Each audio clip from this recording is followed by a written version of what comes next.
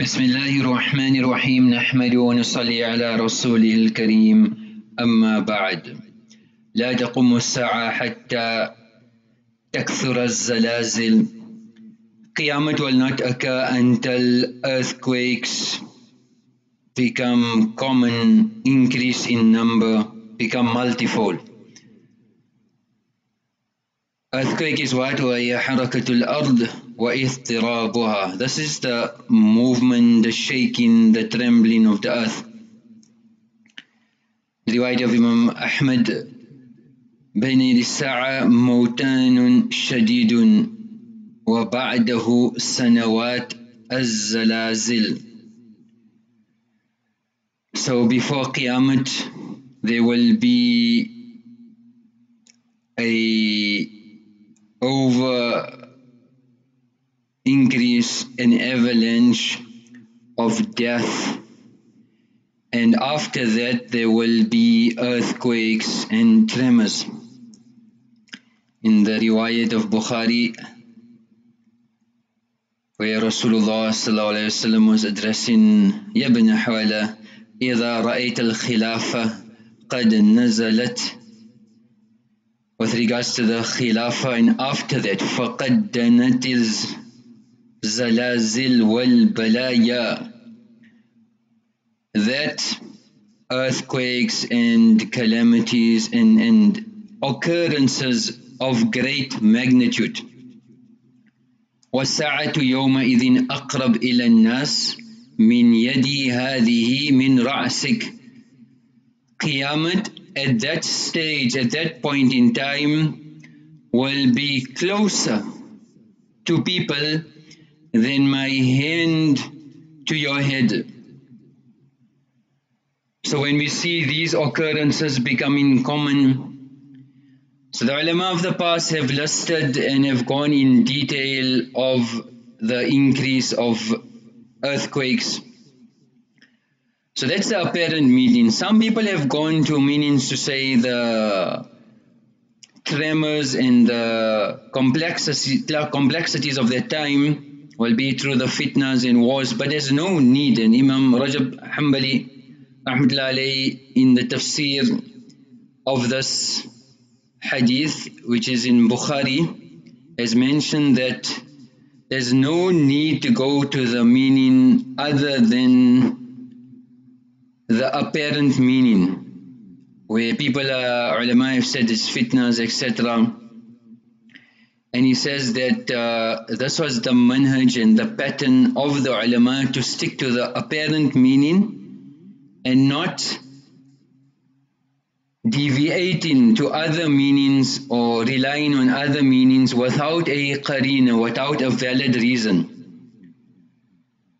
So we see that an indication is when there are a lot of earthquakes and tremors, the actions of the ummah will be at that level, disobedience, ma'asiyah, dis this inclination to Allah, this inclination to akhirat, not obeying the awamir of Allah. فَكُلًّا أَخَذْنَا بِذَنْبِهِ Allah subhanahu says, we took them to task for the sins that they committed. فَمِنْهُمْ مَنْ أَرْسَلْنَا عَلَيْهِ حَاسِبًا We send different calamities, some of them tornadoes, storms, hurricanes. وَمِنْهُمْ مَنْ أَخَذَتْهُ السَّيْحَةُ وَمِنْهُمْ مَنْ خَسَفْنَا بِهِ الْأَرْضِ Screams, screeches, swallowing of the earth. وَمِنْهُمْ مَنْ أَغْرَقْنَا Some of them we drowned them. وَمَا كَانَ اللَّهُ لِيَظْلِمَهُمْ وَلَكِنْ كَانُوا أَنفُسَهُمْ يَظْلِمُونَ Remember, Allah does not oppress anyone, any difficulty, any hardship, any torment, any complexities in life that you have it's through your own actions. Allah subhanahu wa ta'ala is free and void of oppression. If there was an oppressor on earth, then it is you. قل هو القادر على أن يبعث عليكم عذابا Allah subhanahu wa ta'ala has all power to send upon you azab, chastisement, calamities, punishment min fawqikum أو من تحت أرجلكم whether it's above from the heavens or whether it is from the earth this is from Allah subhanahu wa ta'ala so when these conditions occur on earth then we need to turn to Allah, we need to turn to Amal, we need to connect ourselves to our Khalik and check our actions, see where have we gone wrong.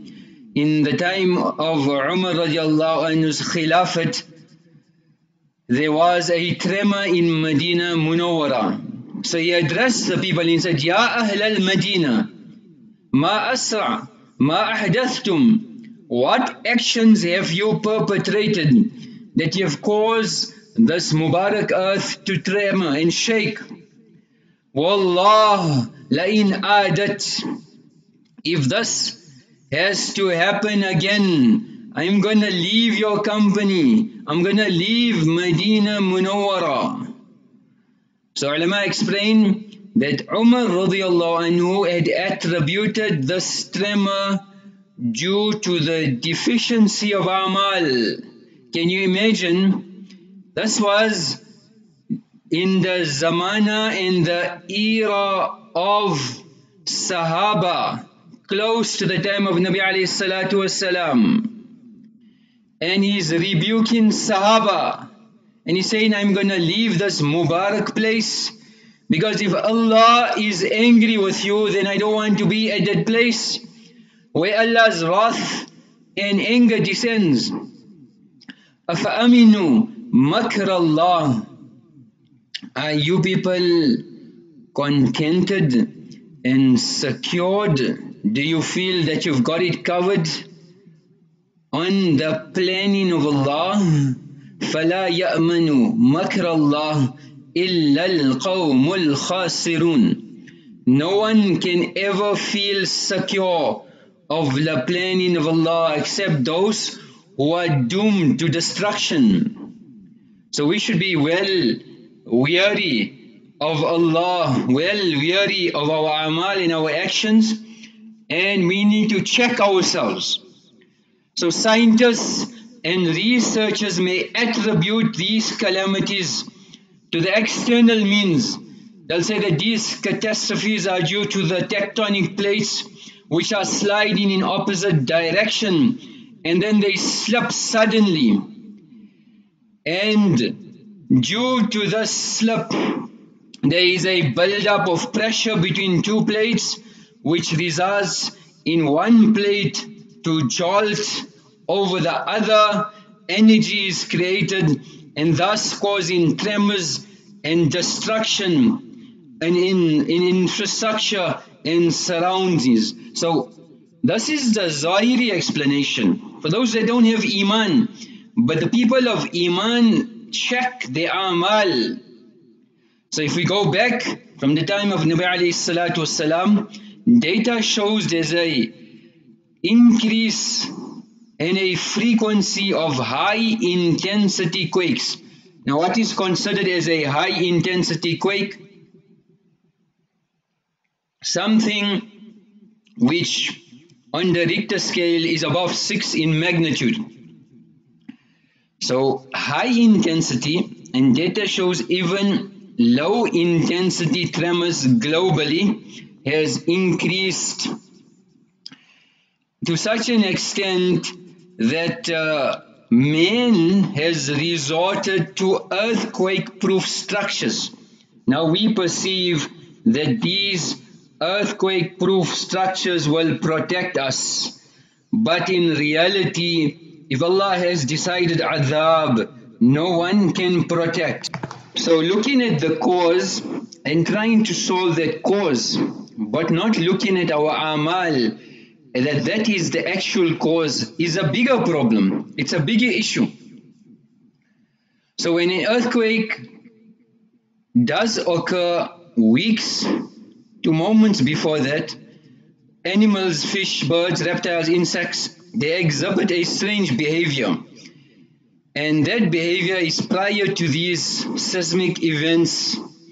Now scientists cannot explain the mechanisms which has sparked this strange behavior. Now we know that man's knowledge is limited and that's why many things they cannot explain.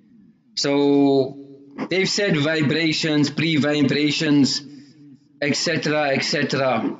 But can we imagine if Allah's adhab is to come, then wouldn't the animals have a sense, a feeling, a fear to be part of that adhab That's why Nabi alayhi salam is mentioned in a narration, يستغفر له من في السماء ومن في الأرض that or كما قال all the creation on earth and in the heavens seek forgiveness maghfirah for a scholar of deen so ulama explain the amal amalukum umalukum your amal will decide who your leaders are. Your amal will decide your consequences. Your amal will decide the decision on earth.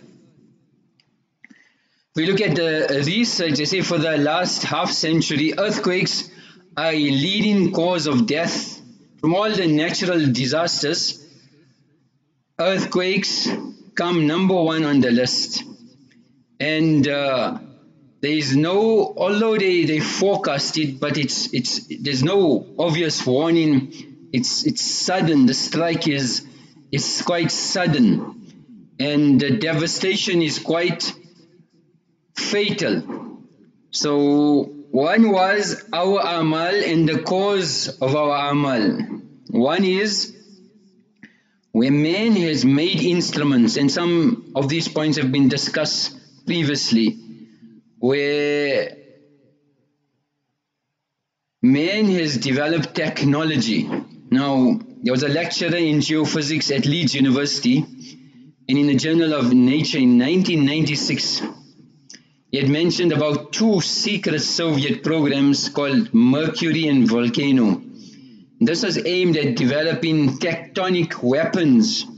These weapons were engineered to set off earthquakes and uh, the invention behind it was to manipulate electromagnetism. So there was even a convention on the prohibition of military or any other hostile use. This was in 1978 where modification techniques were used on the environment. And it was ratified by 75 states, uh, this treaty, another 17 countries, and it prohibits the use of environmental modification techniques which can cause earthquakes, tsunamis, and other phenomena. Now, to refute a theory, you'll always say it's a conspiracy theory. And they've got people in place to make sure that whatever theories are exposed, there are people who have contra data, contra information to refute it, like the harms of 5G and cellular phones and cellular technology and cellular towers. The list goes is endless.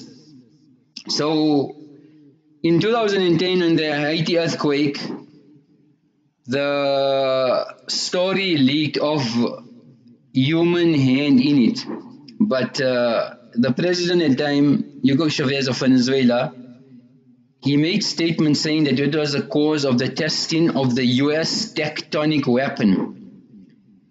And uh, in a newspaper article in Moscow, the Komsomolskaya Pravda had written an article in May 1992 that the geophysical or tectonic weapon was developed in the USSR despite it being documented in the UN, UN Convention for it not to be done. So one is human amal actions, one is man-made actions. But if we combine both and we combine the hadith of Nabi alayhi salatu wasalam, possibly we in that era. So the one meaning muhaddithin have given is, one is just earthquakes will become common which is visible. The second meaning is that because of disobedience, wadhuhurul munkarat, and the excessive sinning of the ummah, this will be a cause for earthquakes to happen. A third meaning has been given is Ibn uh, al-Hafiz uh, Ibn Hajar Asqalani has mentioned that there will be two qualities of these earthquakes becoming common. One is that it will be Jami'u Arja'il Ard from all the countries, cities of the world will be combined. You'll see earthquakes everywhere. It was number one. And secondly is that dawam, that the earthquakes that occur will be perpetual globally. So we're going back onto many, many centuries where Ibn Jawzi and Hafiz Suyuti have compiled incidents to justify and prove this. So if we look at uh, long-term records since 1900s, there was an average of around 16 major earthquakes in a year. And uh, many were of a greater magnitude. But uh, in the last 40 to 50 years, records show that it has exceeded the long-term average. So if you go from 1501 to 1601, earthquake above 8.5 magnitude. Then 1601 to 1704, 1701 to 808, 1801 to 1907, 1901 to 2010, 2001 to 2000. So it's been increasing dramatically and exponentially. And in the last 30 years, and look at the dates, plus minus last 30 years, the greatest devastation which is earthquakes have costed humanity. 235 billion, 2011, Japan 9.1 magnitude. 200 billion dollars we're talking about 1995 Japan 6.9 86 billion China 8 magnitude 28 billion dollars Japan 2004 6.8 20 billion 1999 Turkey 7.6 magnitude 15.8 billion Italy 2012 6.1 magnitude. 30 to 40 billion New Zealand 2011 6.3 magnitude. 15 to 30 billion Chile 8.8 magnitude 2010 15 billion dollars Italy 1980 6.9 magnitude. 13 to 44 billion 6.7 magnitude 1994 Los Angeles 10 billion Taiwan 1999 7.6 and the data is out there it's just showing how accurate the words of Janabi Rasulullah is if we look at the deadliest approximately 830,000 people, January in China 1556. Then moving onwards lately, 1976, 700,000 people, China. Then 2004, India, 227,000 people. 2010, January, Haiti earthquake, 316,000. So again, the data is clear and it's telling us exactly إذا زلزلت الأرض زلزالها when the earth will shake and tremor that is before Qiyamah وإذا البحار فجرت the oceans will be ignited سجرت they'll become flames وتكون الجبال كالعهن المنفوش so scientists are predicting that the end of the world which is imminent Firstly, the solar luminosity, the heat will increase. As it's increasing, the atmosphere will become hot. The oceans will evaporate and become like fire. That's one scenario. And second scenario is where the molten lava in the earth that comes out and the oceans will be ignited and the earth will be obliterated. Another scenario is where the magnetosphere of the earth that is lost and that causes also issues and then is where the asteroid will come and hit the earth. Whatever the scenario is, but scientists have predicted something like this to happen. Allah knows best. Allah protect us. The amal for today is to protect the gaze. كل عين باكية يوم القيامة إلا عين غدت عن محارم الله All eyes will cry on the day of Qiyamah. Amongst the ones that will not cry is that eye that lowered their gaze from haram. ما من مسلم ينظر إلى محاسن امرأة any Muslim sees a beautiful woman ثم يغض بصره he lowers his gaze except Allah subhanahu wa ta'ala will give him the sweetness of iman in his heart may Allah subhanahu wa ta'ala give us tawfiq of making amal وآخر دعوانا أن الحمد لله رب العالمين